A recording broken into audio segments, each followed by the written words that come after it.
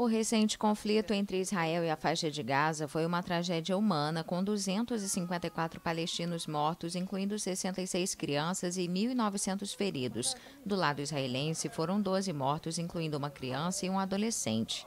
Durante os bombardeios, muitos palestinos tiveram de deixar para trás os bichos de estimação, gerando uma fonte extra de sofrimento.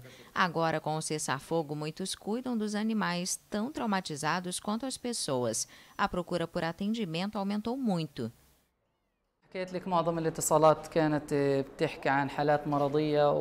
A maioria dos chamados era sobre doenças e alguns relacionados ao medo de animais, mas as reclamações mais comuns eram sobre animais se recusando a comer, se escondendo ou com queda do pelo por causa do verão, mas também por causa da guerra. Os gatos também se escondiam porque estavam com medo.